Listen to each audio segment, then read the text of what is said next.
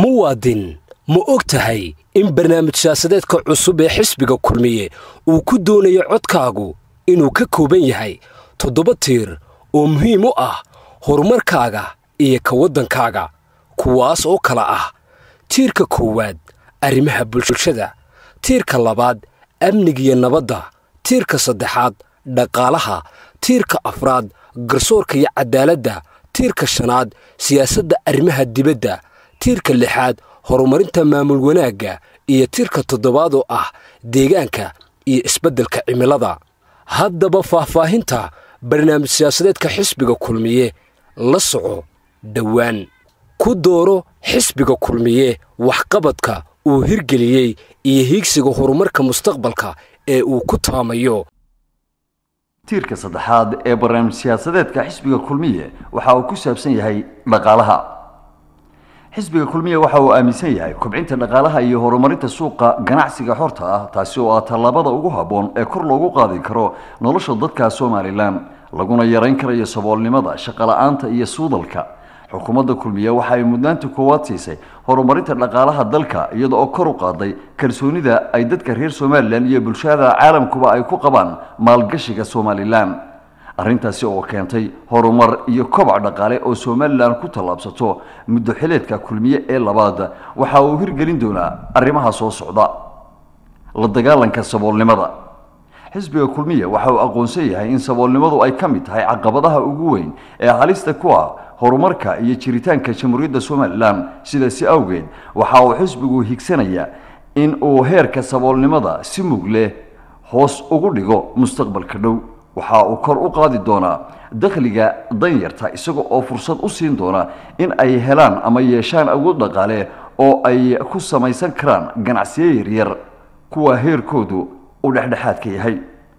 Waxa uu dhiirigelinayaa sidii loo abuuri lahaa hay'ado maaliyadeed oo kaaliya bulshada danyarta ah. Waxa uu xoogga saarayaa sidii aanay bulshadu u kala tegi lahayn dhaqaale ahaan dalkana aanay uga abuurmin dabaqado dhaqaale oo aada u kala fog si ujeeddadaasi loo xaqiijiyo kulmiye waxa uu meel marin doonaa siyaasado hagaa howlaha lagu baahinayo. Dakhliga soo gala dalka si muwaadin kasta dheefta dhaqaale ay wax uga soo gaadhaan miisaaniyadda. Xisbiga kulmiye waxa uu ka soo qaaday miisaaniyadda jamhuuriyadda somalilan toddobiyo afartan milyan oo dollar sannadkii labadii kun iyo tobankii waxaanu gaadhsiiyey in ka badan saddex boqol iyo lixdan milyan oo dollarka maraykanka ah sanadka labada kun iyo toddobiyo tobanka. Waxa ay ka dhigan tahay miisaaniyadda qaranka jamhuuriyadda somalilan. Waxaa la kordhiyey in ka badan lix jeer. Xisbiga kulmiye muddaxileedkiisa labaada waxa uu awoodda saari doonaa tayeynta iyo dubahabeynta nidaamka soo xaraynta dakhliga iyo bixinta kharashaadka dowladda. Waxa uu higsanayaa in miisaaniyadda qaranka la gaadhsiiyo ugu yaraan shan boqol oo milyan sanadka labada kun laba iyo labaatanka. Waxa uu korarka miisaaniyadda mustaqbalka u isticmaali doonaa mashaariicda horumarinta sida shaqo abuurista wax soo saarka arrimaha bulshada iyo adeegyada lama huraanka u ah horumarka bulshada. Waxa uu miisaaniyadda qaranka uu uga qoondayn doonaa boqolkiiba laba nidaamka doorashooyinka jamhuuriyadda somalilan waxaa arrintani ay suurto gelin doontaa in nidaamka doorashooyinka jamhuuriyadda somalilan uu noqdo nidaam qaran kana madax bannaanaado qaadhaan ururin.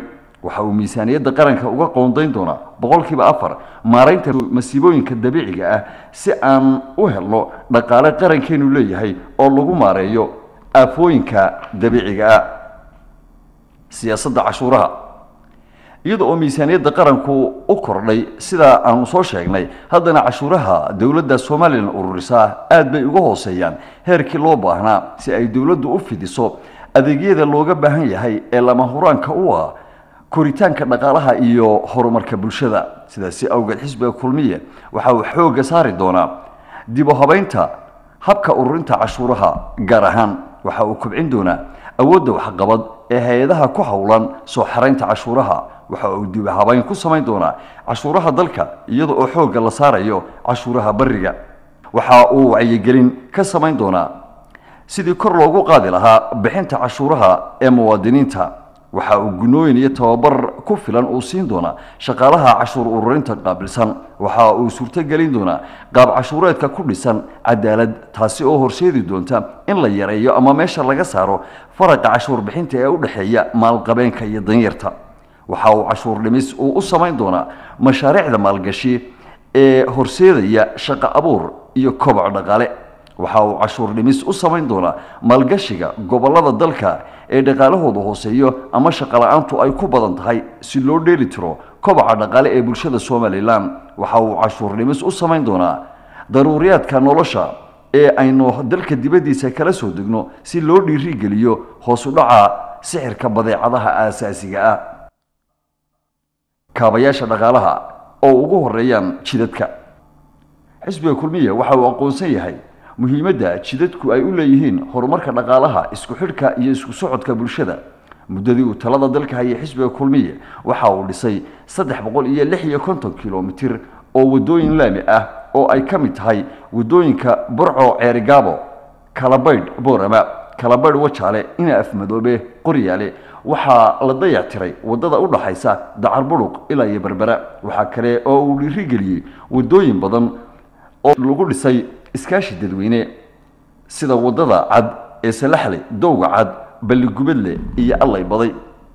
Shanta gu ee soo socda ee ka bilaabma labada kun toddobiyo tobanka ilaa iyo labada kun labiyo labaatanka xisbiga kulmiye waxa uu xoogga saari doonaa dhammaystirka waddada barco ilaa iyo ceergaabo dhammaystirka waddada balligubadle ilaa iyo hargeysa dhammaystirka waddada salaxle ilaa iyo hargeysa dhammaystirka burco ilaa iyo oodweyne dhammaystirka waddada dowga cad dhammaystirka waddada arabsiyo ilaa iyo allay baday xisbiga kulmiye shanta gu ee soo socda waxa uu bilaabi doonaa dhismaha waddooyin cusub oo taabud u ah isu socodka iyo isku xidhka dalka kuwaasi oo ay ka mid yihiin boorama looyacaddo berbera raaribul burco warcimraan wadaamago qorilugud ilaa iyo ballidhiig laascaanood adhi caddeeye xudun waddada ganacsi ee berbera iyo wajaale berbera corridor dhismaha waddooyinka waxaa dheer oo xisbiga kulmiya awoodda saari doonaa calaamadaha badbaadada waddooyinka garoomada diyaaradaha xisbiga kulmiye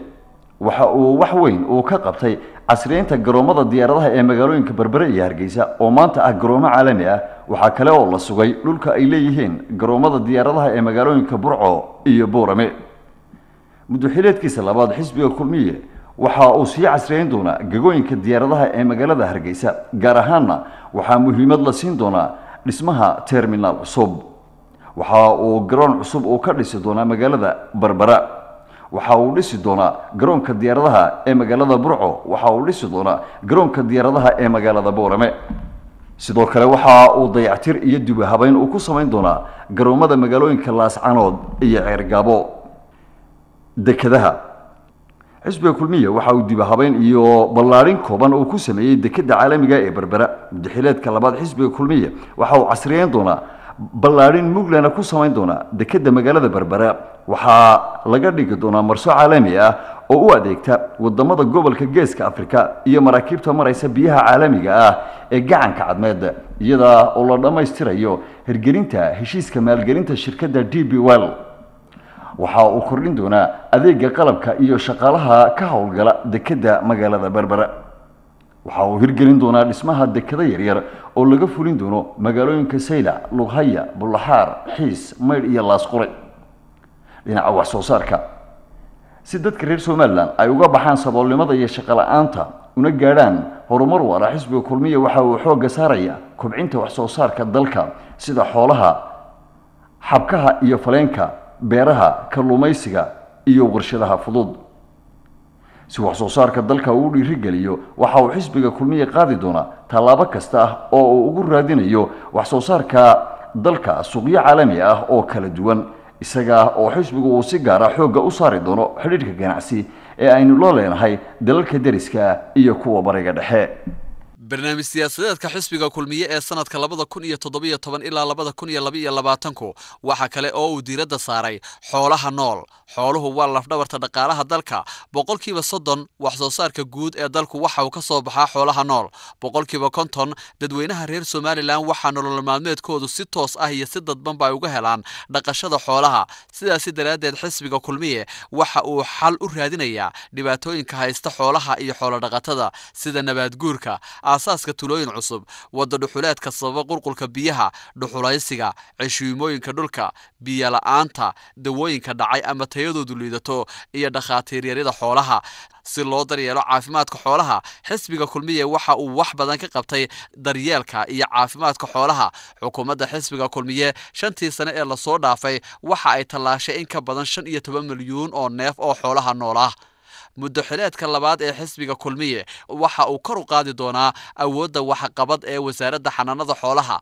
Waxa uu tixgelin gaar ah siin doonaa daryeelka iyo caafimaadka xoolaha nool. Sida inuu kabo ama uu cashuur dhaaf u sameeyo soo dejinta dawooyinka iyo tallaalada xoolaha waxa uu dhiirigelin doonaa xisbiga kulmiye mashaariic lagu naaxiyo xoolaha oo ka hirgala deegaano ku habboon guud ahaanba dalka. Si xoolaha dalku ay tartan ganacsi ula geli karaan xoolaha dalalka kale ee safka hore kaga jira dhoofinta xoolaha nool. Waxa uu xoogga saari doonaa xisbiga kulmiye ilaalinta deegaanka daaqsinta ah ee dalka oo dhan si loo suurtogeliyo helitaanka deegaan ku fiican dhaqashada xoolaha. Waxa uu unkayaa xarun cilmi baadhiseed oo ku foogan helitaanka iyo tijaabinta hababka lagu nafaqeeyo xoolaha nool. Waxa uu dhiiri gelin doonaa xisbiga kulmiye warshado xoolaha qala islamarkaasina hilibkooda iyo haragoodaba dhoofiya. Si qiimaha hilibka aynu dhoofino sare loogu qaado shaqa abuurna loo sameeyo. Waxa uu dhiiri gelin doonaa xisbiga kulmiye farsamaynta wax soo saarka caanaha xoolaha sida subaga burcadka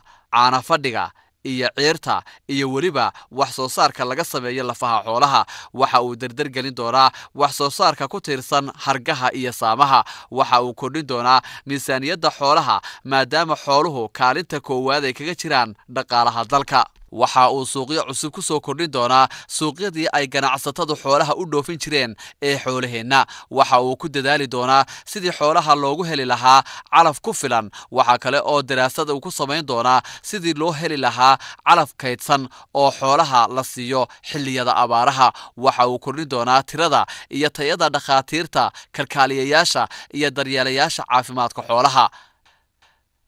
Dhinaca xabkaha iyo beeyada tiirka saddexaad ee dhaqaalaha ee barnaamij siyaasadeedka xisbiga kulmiye waxa uu muhiimadda siiyey xabkaha iyo faleenka somalilan waxa ay ka mid tahay dalalka hodanka ku ah dhirta ay ka baxaan xabkaha qaaliga ah sida beeyada meydiga malmalka iyo cadaadda waxaana loo yaqaanaa xabag iyo faleen. Dhirtani waxa ay ka baxdaa qaybo ka mid ah buuraleyda gobolka sanaag iyo qaybo ka tirsan buuraleyda gobollada bari ee jamhuuriyadda somalilan xabkaha iyo faleenku waxa ay qayb muhiba u yihiin nolosha aadamaha iyo dhaqaalaha dalkeena jamhuuriyadda somalilan xabkaha iyo faleenka laga helo jamhuuriyadda somalilan waxa ay ka mid yihiin nuucyada ugu qaalisan adduunka looguna jecel yahay meydiga beeyada malmalka iyo cadaadu. Waxay ka mid yihiin kaabayaasha dhaqaalaha jamhuuriyadda somalilan haysato sanadkiiba waxaa qaranka uga soo xarooda dakhli xoog leh xisbiga kulmiya isaga oo aqoonsan muhiimadda xabkaha iyo faleenka u leeyihiin dhaqaalaha dalka iyo kan bulshadaba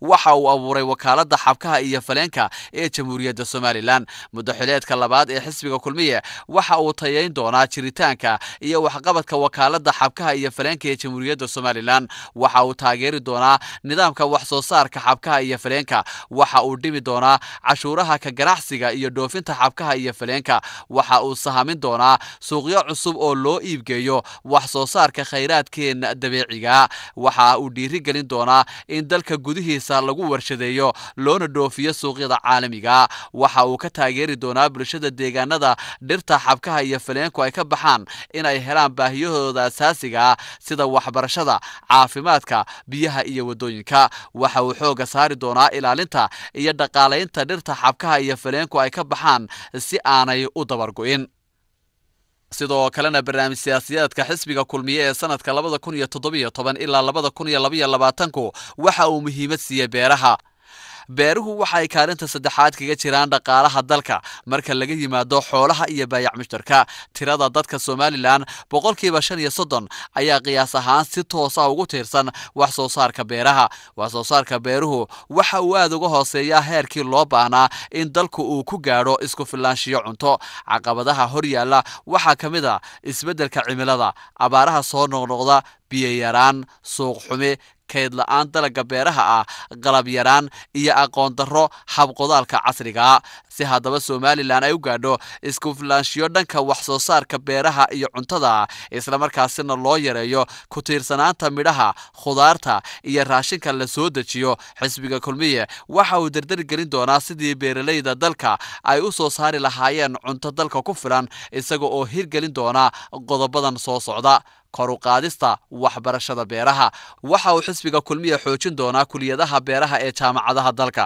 Waxa uu samayn doonaa jaamacad u gaara culumta beeraha ama waxa uu xoojin doonaa kuliyadaha beeraha ee imika ka jira jaamacadaha qaar waxa uu kor u qaadi doonaa manhajka waxbarashada dugsiyada hoose dhexe maadada culumta beeraha si da'yarta loogu dhiirigeliyo wax soo saarka beeraha koruqaadida adeega waxbarashada waxa uu kor u qaadi doonaa xisbiga kulmiya awoodda waxqabad ee wasaaradda beeraha oo u egman adeega wax soo saarka beeraha dalka. Waxa uu ku dhiirigelin doonaa maalgashadayaasha caalamiga ah in ay maalgashadaan beeraha dalka. Waxa uu kor u qaadi doonaa xisbiga kulmiye tayada shaqaalaha beeraha si loo helo dalag taya leh kana caafimaad qaba xanuunada ku dhaca dalagga. Waxa uu beeralayda siin doonaa barnaamijyo casriya oo kor u qaadaya xirfadda iyo wacyiga la xidhiidha wax soo saarka iyo suuqgeynta midhaha beeraha. Waxa uu xisbiga kulmiya beeralayda ka kaalin doonaa adeegsiga dhammaanba farsamooyinka lagula dagaalamo cayayaanka halista ku ah wax soo saarka beeraha. Waxa uu sii kordhin doonaa hawsha kala xadaynta beeraha iyo sugidda mulkiyadda beeraha. Xisbiga kulmiye waxa uu hirgelin doonaa nidaam lagu kala xadeeyo dhulbeereedka iyo dhuldaaqsimeedka waxa uu samayn doonaa islamarkaasina hirgelin doonaa siyaasadda wax soo saarka cuntada barnaamij siyaasadeedka xisbiga kulmiye ee sanadka labada kun iyo toddobiyo toban ilaa labada kun iyo labaiyo labaatanka waxa uu muhiimadda saarayaa xoojinta iyo tayeenta wax soo saarka beeralayda waxa uu kordhin doonaa xisbiga kulmiye aqoonta iyo xirfadda beeralayda waxa uu dardar gelin doonaa mashaariicda fidinta beeraha. Waxa uu dhammaystiri doonaa kaabayaasha lagama maarmaanka u ah beeralayda dalka sida cagafyada mishiinada biyo soo saarka tuumbooyinka qalab gacmeedka kala duwan iyo agabka casriga ah ee beeraha. Waxa uu awoodda saari doonaa wax ka qabashada nabaadguurka baabi'iya dhulbeereedka dalka. Xisbiga kulmiya waxa uu dhisi doonaa biyo xidheenno lagu qabto biyaha loogana faa'iidaysto waraabka beeraha. Waxa uu xisbiga kulmiya kordhin doonaa miisaaniyadda beeraha farsamooyinka casriga ah ee wax soo saarka beeraha. Waxa uu xoogga saari doonaa xisbiga kulmiye sidii biyo ku filan loogu heli lahaa beeraha si kor loogu qaado wax soo saarka beeraha xisbiga kulmiye. Waxa uu baadi goobi doonaa qalab casri ah si loo kordhiyo wax soo saarka beeraha. Xisbiga kulmiya waxa uu abuuri doonaa baanka abuurka ama shinnida qaranka oo lagu kaydin doono abuurkii asalka ahaa ee dalka iyo abuur kasta oo taya leh. Waxa uu ka kaalin doonaa beeralayda sidii loogu heli lahaa meelo ku habboon oo ay ku kaydiyaan wax soo saarkooda si loo yareeyo. Ugu dambayntana meesha looga saaro midhaha xumaada waxa uu dhisi doonaa shaybaadho casri ah oo sii horumariya baadhitaanada la xidhiidha carrada iyo fayaqabka dalagga. Waxa uu beeralayda ku tababari doonaa waraabka nuuca loo yaqaano waraab dhibiceedka oo tashiila biyaha wax soo saarka dalaggana kor u qaada. Shirabidda ama tijaabinta dalagyo cusub waxa uu kordhin doonaa xisbiga kulmiye tirada beertusaareedyada lagu shirabo ama lagu tijaabiyo qaababka cusub isku dhafka dalagyada iyo kuwa cusub ee la jaanqaadi kara cimilada deegaankeenna. Waxa uu dhiirigelin doonaa guri beereedyada green houses si loo kordhiyo tirada iyo tayada dalagyada ku habboon deegaanada wax soo saarka ku habboon. Waxa uu ku fidin doonaa guri beereedyada lagu sameeyo shirabidda ama tijaabooyinka iyo tababaridda ay beeralaydu u baahan tahay. Waxa uu dhiiri gelin doonaa beerashada bariiska noocyada lagu guulaystay shirabidooda ama tijaabintooda ee ka bixi kara dalka isaga oo beeralayda u samayn doona tababaro bixin doona shinni ama abuurka ku habboon islamarkaasina kaalin doona qalabka galka lagaga saaro.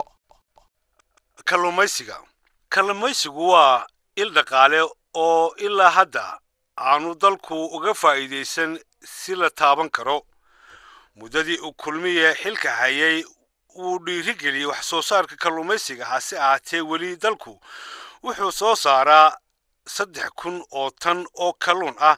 Halka aynu ka soo saari karno sannadkii in u dhexaysa siddeed iyo toban kun ilaa labaatan kun oo tan sannadkii xisbiga kulmiye isaga oo ogsoon ahamiyadda uu kalluumaysigu u leeyahay dhaqaalaha dalka waxa uu qaadi doonaa tallaabooyinka aan soo sheegi doono waxa uu xoojin doonaa awoodda waxqabad ee wasaaradda kalluumaysiga ee kheyraadka badda. Waxa uu kor qaadis uu ku samayn doonaa wax soo saarka kalluunka iyo dhoofintiisa taasi oo wax ka tari doonta yaraynta dhibaatooyinka dhaqaale korna u qaadi doonta shaqaalaysiinta da'yarta somalilan. Waxa uu kor u qaadi doonaa qalabka xirfadaha iyo waayo aragnimada kalluumaysatada si ay uga faa'iidaysan karaan khayraadka baddeena. Waxa uu la dagaalami doonaa cid kasta oo ku lug leh kalluumaysi sharci darro ah. Waxa uu dejin doonaa xeerka iyo siyaasadda daryeelka kalluunka iyo ilaalinta xeebaha. Waxa uu kor u qaadi doonaa wacyigelinta bulshada ee ku saabsan nafaqada iyo waxtarka cunidda kalluunka. Waxa uu ku jihayn doonaa ganacsatada dalka inay maalgashadaan kalluumaysiga si shaqo la'aanta loo dhimo islamarkaana loo dhiirigeliyo maalgashiga warshadaha kalluunka waxa uu horumarin doonaa waddooyinka ka yimaada xeebaha si kalluunku si fudud ugu soo gaadho suuqyada magaalooyinka dalka.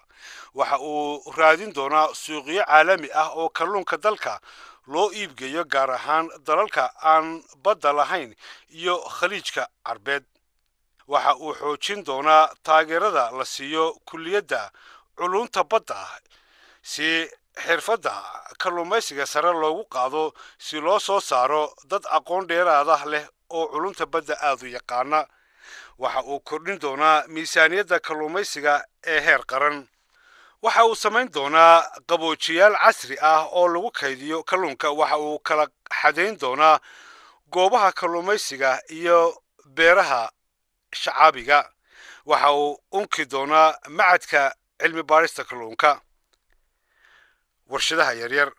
Warshadaha yaryari waa hab muhiim ah oo lagu yarayn karo shaqola'aanta waana hannaan somalilan u suurto gelin kara inay gaadho horumar dhaqaale oo dheeli tiran. Xisbiga kulmiya intii uu xilka hayay waxa uu sameeyey wasaarad gaar u ah warshadaha. Waxaan u dejiyey siyaasado taageeraya inay ganacsatadu si hawl yar warshado uga samaysan karaan dalka. Si dalku uga baxo dheeliga ganacsi isla markaana uga maarmo badeecado badan oo laga soo dhoofiyo dibadaha. Waxa uu kulmiya dhiiri gelinaya in dalka ka abuurmaan warshado yaryar. Waxaanu qaadi doonaa tallaabooyinka aan soo sheegi doono.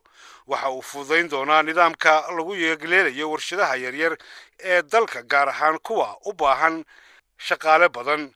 Waxa uu xal u raadin doonaa caqabadaha hor taagan warshadaha isaga oo diyaarin doono xeerar dhiiri gelinaya maalgashiga warshadaha yaryar iyo nidaamka shuraakada ee maalgashiga. Waxa uu cashuurta ka jebin doonaa alaabta ay u baahan yihiin warshadaha dalku si ay wax soo saarkooda u kordhiyaan. Waxa uu maalgelin ku samayn doonaa kaabayaasha halbowlayaasha u ah hanaqaadka warshadaha yaryar gaar ahaana dhinacyada tamarta maaliyadda waddooyinka iyo suuqgeynta wax soo saarkooda waxa uu samayn doonaa deegaano u gaar ah warshadaha industrial zones waxa uu samayn doonaa waaxda daraasaynta warshadaha oo baadhitaano joogto ah ku samayn doona sidii loo horumarin lahaa warshadaha dalka. Tamarta. Helidla-aanta tamar inagu filani waa mid ka mid ah dhibaatooyinka ama caqabada ugu waaweyn ee haysta dhaqaalaha guud ahaan iyo gaar ahaan deegaanka somalilan iyada oo dalku adeegsado dhuxusha iyo tamarta shidaalka laga dhaliyo oo ah laba ilood oo dhibaato ku haya deegaanka islamarkaana qaali ah oo kharash badani kaga baxo dalka. Somalilan waxay ka mid tahay dalalka kharashka ugu badani kaga baxo korontada. Halka kilowat waxaa kharashkiisu taagan yahay ku dhowaad hal dollar amaba waaba hal dollar guud ahaan dalka. Si loo horumariyo tamarta dalka xisbiga kulmiye muddaxileedkiisa labaad waxa uu ballan qaadayaa oo uu dhiiri gelin doonaa siyaasado iyo qorshayaal haga xal u helidda dhibaatooyinka tamareed ee dalka ka jira. Waxa uu xoojin doonaa awoodda waxqabad ee wasaaradda tamarta iyo macdanta gaar ahaan waaxda tamarta ee wasaaraddaasi oo istiraatiijiyad u ah in dalku helo tamar lagu kaaftoomi karo. Waxa uu maalgelin doonaa sidii loo heli lahaa khubaro dhinaca tamarta ah isla markaana loo dhiirigelin lahaa waxbarashada la xidhiidha dhinaca tamarta. Si mustaqbalka loo helo aqoon-yahano maarayn kara baahiyaha tamarta ee dalka u qabo iyo helitaanka ilo tamareed iyo kale oo laga faa'iidaysto.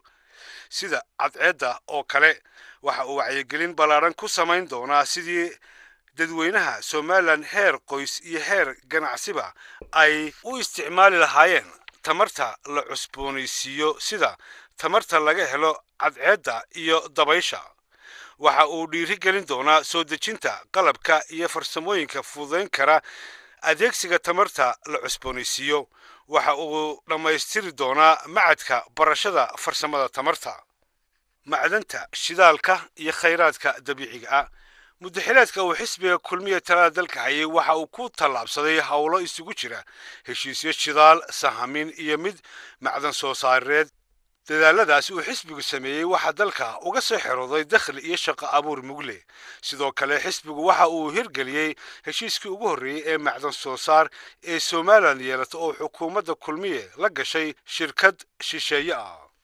Kulmiye waxa uu ku guulaystay inuu dhacsiiyo caalamka khayraadka saliidda qaydhiin ee dalkeenna ku dugan isaga oo ku guulaystay inuu somalilan ku dhigo maabka khayraadka batroolka bariga afrika. Xukuumadda kulmiye ayada oo adeegsanaysa garyaqaano iyo khubaro caalami ah waxay diyaarisay xeerarka shidaalka macdanta iyo xeerka wadaagga khayraadka kuwaasi oo ay ansixin doonaan golayaasha xeerdejinta ee dalku sida darteed xisbiga kulmiye isaga oo ka duulaya waxqabadka muddaxileedka hore waxa uu sii wadi doonaa ka dhalinta soo saarka khayraadka gaar ahaan shidaalka. Waxa uu sii wadi doonaa mashaariicda macdan soo saarka ee dalka ka socota. Waxa uu dhaqangelin doonaa xeerarka iyo shuruucda maamulka iyo wadaagga khayraadka. Waxa uu kor u qaadi doonaa wacyigelinta bulshada ee ku aadan soo saarka iyo ka faa'iidaysiga khayraadka dalka. Waxa uu horumarin doonaa isku xidhnaanta bulshada ilaalinta deegaanka iyo tixgelinta bulshooyinka ku dhaqan deegaanada khayraadka laga soo saarayo. Waxa uu sugi doonaa amniga goobaha khayraadka laga soo saarayo ee dalkeenna ku yaalla dhiirigelinta maalgashiga caalamiga ah. Xisbiga kulmiye waxa uu dhiirigeliyey hagaha maalgashiga somalilan oo bixinaya wacaal la xidhiidha fursadaha maalgelinta u baahan ee somalilan haysato. Sidoo kale waxaa la diyaariyey xeerka maalgashiga shisheeyaha oo hor yaalla golaha wakiilada. Si maalgashadayaasha caalamku ay ugu soo dhiiradaan inay ganacsi iyo maalgashi ay ku samaysan karaan somalilan xukuumadda kulmiye waxa ay ku guulaysatay in ay abuurto jawi maalgashaha caalamiga ahi hantidiisa ugu aamini karo somalilan shirkadda d b well waxay la gashay dowladda somalilan heshiis maalgashi oo lagu casreynayo marsada berbera oo qadarkiisu dhan yahay afar boqol iyo labiyo afartan milyan oo dollar si ay ula tartanto dekedaha gobolka iyo kuwa caalamkaba. Waxaa kale oo ay xukuumaddu heshiis maalgashi la gashay shirkado sahamin ku samayn doona shidaalka somalilan mudulxilaadka labaad ee xisbiga kulmiye waxa uu hirgelin doonaa arrimo aan soo sheegi doono. Waxa uu ballan qaadaya in uu sii xoojin doono xidhiidhka jiray kuna dhiirin doono in uu abuuro qaar cusub isla markaana fududayn doono maalgashiga caalamiga ah. Si taageero wax ku ool ah loogu helo waxaha dhaqaalaha ee u baahan dhaqaale iyo maalgelin baaxad leh. Waxa uu diyaarin doonaa saaxad dhaqaale iyo siyaasad maalgashi oo miisaanman si loo soo jiito maalgashiga caalamiga ah. Waxa uu unki doonaa dhammaan xeerarka sahlaya maalgashiga iyo horumarinta jamhuuriyadda somalilan. Waxa uu yarayn doonaa muddada diiwaangelinta ay ku qaadato maalgashadaha waxa uu meesha ka saari doonaa shuruudaha aan muhiimka ahayn ee lagu xidho maalgashiga. Waxa uu dhiiri gelin doonaa maalgashiga abuuraya shaqo abuurid ballaadhan waxa uu taageeri doonaa maalgashiyada farsamaynaya khayraadka dalka isla markaana u dhoofinaya suuqyada caalamka.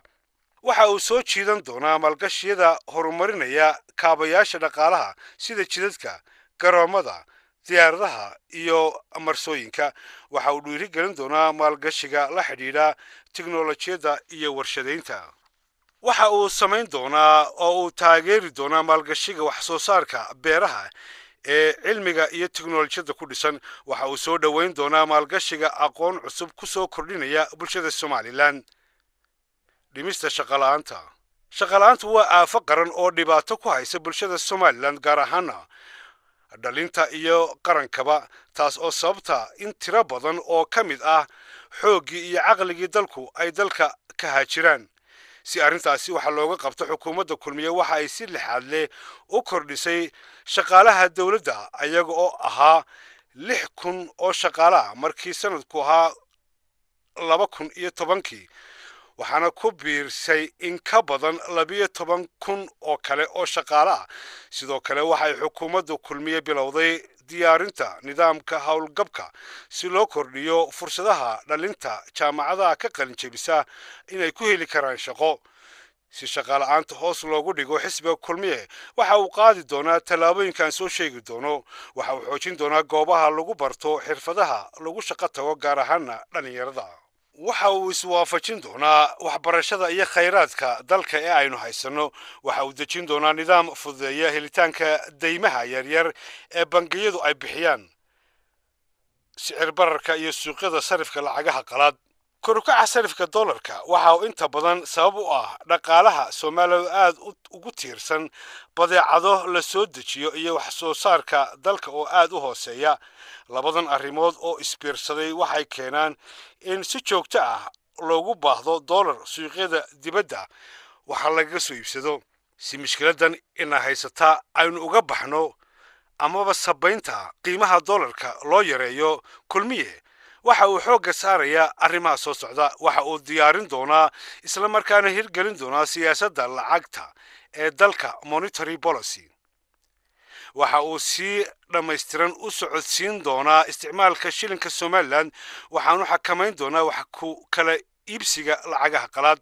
Waxa uu xoojin doonaa kobca wax soo saarka iyo dhoofintooda si dalku uu u soo gasho lacag adagi loogana maarmo qaybo ka mid ah badeecadaha aynu hadda la soo degno una yarayno baahida lacagta qalaad baananka iyo suuqyada maaliyadda xisbiga kulmiya waxa uu rumaysan yahay in kaalinta baananku ay lama huraan u tahay kobaca dhaqaalaha dalka. Baananku waa habka ugu muhiimsan ee loo abuuri karo maalgashiyo lagu yarayn karo shaqola'aanta iyada oo ah dhexdhexaadiyaha isku xidha hantiilayaasha u baahan in ay kaydsadaan lacagtooda iyo dadka haya fikrado ganacsi oo meelmar noqon kara. Xisbiga kulmiye waxa uu aaminsan yahay in xidhiidhinta labada dhinac la'aantood aan lagu tallaabsan karin horumar lagu tanaado. Xisbiga kulmiye muddadii uu talada dalka hayay waxa uu meel mariyey xeerka baanka dhexe ee somalilan oo dibu eegis iyo kaabis lagu sameeyey iyo xeerka baanka islaamiga ah oo la meel mariyey si ay dalka uga furmi karaan baanan ganacsi oo haqabtiri kara baahida maaliyadeed ee muwaadiniinta somalilan waxaana sannadkii laba kun iyo labayo tobanka dalka ka furmay baankii ugu horreeyey ee ku shaqeeya hanaanka baananka islaamiga ah maanta waxaa si rasmi ah uga furan dalka. Saddex bangi oo ruqsado rasmi ah ka haysta baanka dhexe ee somalilan iyada oo baanka ugu dambeeyey ee islaamiga ah ruqsad la siiyey sannadkii labadii kun iyo lix iyo tobankii. Si loo horumariyo baananka iyo suuqyada maaliyadda xisbiga kulmiye waxa uu xoojin doonaa madax bannaanida sharciga ah ee baanka dhexe iyada oo la kordhin doono shaqaalaha xirfadda iyo aqoon sare u leh maamulka iyo maaraynta baanka. Waxa uu dhammaystiri doonaa xeerarka maqan iyo kaabayaasha kale ee laga maarmaanka u ah baananka ganacsiga ku dhiirigelinaya bixinta deymaha. Waxa uu abuuri doonaa baanka ganacsiga somalilan commercial bank of somalilan oo noqon doona baan ay dowladdu leedahay kuna shaqeeya gebi ahaantiiba shilinka somalilan isaga oo dhigaalada macmiisha ku qaban doonaan lacagta dalka isla lacagta dalkana ku bixin doonaan daymo si shilinka somalilan u yeesho qiimo dhaqaale.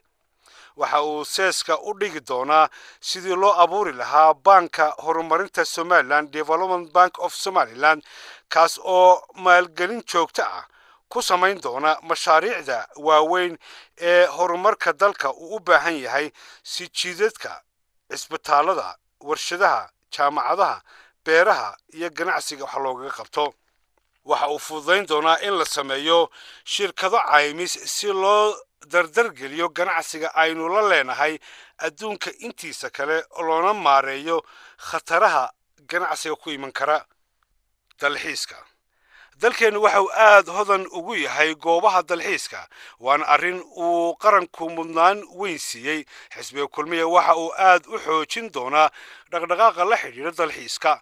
Waxa uu kobcin doonaa goobaha loo dalxiis tago ee dalka ku yaalla waxaanu fududayn doonaa socdaalka dalxiisayaasha dalka taasi oo wax ka tari doonta kobaca dhaqaalaha islamarkaana abuuri doonta fursado shaqo oo hor leh tiirka afraad ee barnaamij siyaasadeedka xisbiga kulmiye oo ku saabsan garsoorka iyo cadaaladda xisbiga kulmiye waxa uu aaminsan yahay in cadaaladdu ay tahay xabagta isku haysa bulshada. La'aanteedna aanu qaranku caaga adag ku taagnaan karin.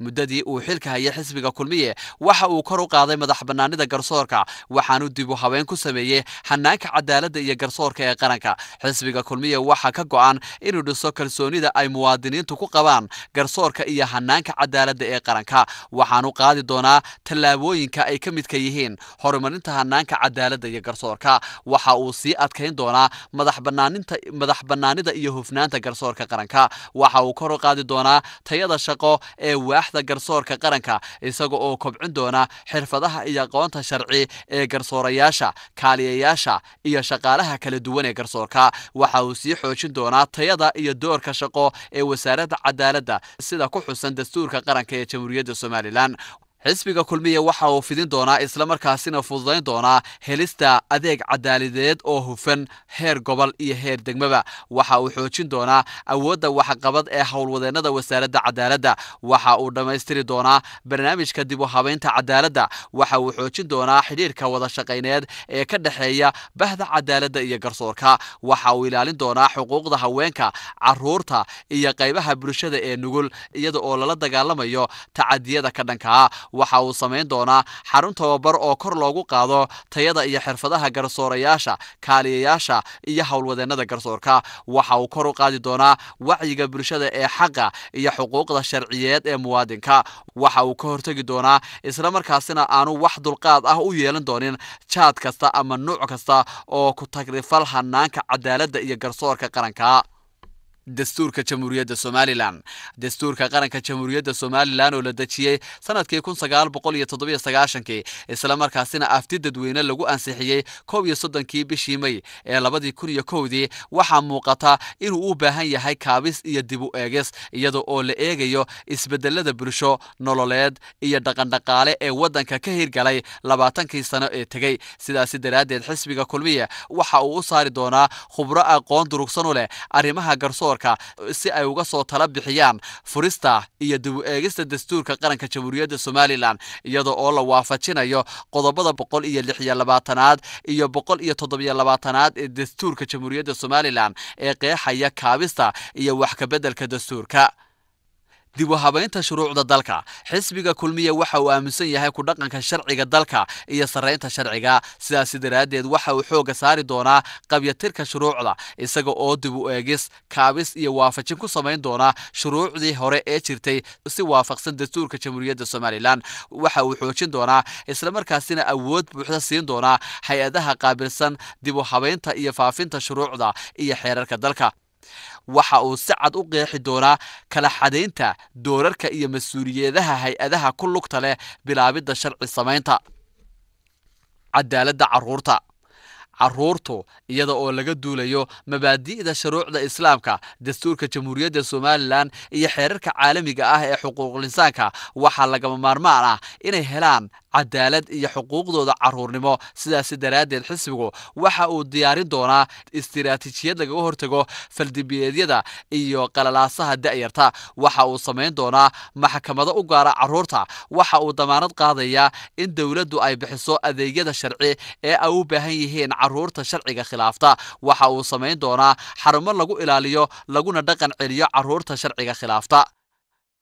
Xabsiyada xabsiyada dalku waxay u baahan yihiin casriyeyn iyo dib u habayn si aanay u noqonin meel dembiilayaashu ciqaabta ay ku mutaan oo keliya balse ay u noqoto meel dadka dhaqankoodu baydhay lagu toosiyo. Maxaabiistuna ay xirfado ku bartaan sidaasi daraaddeed xisbiga kulmiye waxa uu hirgelin doonaa dhismaha xabsiyo cusub oo waafaqsan baahida maxaabiista. Waxa uu dayactiri doonaa xabsiyadii hore ee jiray si ay u waafaqaan halbeega caalamiga. Waxa uu dib habayn ku samayn doonaa hanaanka maamulka xabsiyada dalka xisbiga kulmiye waxa uu ka yegleeli doonaa xabsiyada. Qaybo maxaabiistu ay aqoon iyo xirfado ku bartaan si markaa xukunkooda ay dhammaystirtaan ay bulshada dib ugu dhexgeli karaan una shaqaysan karaan.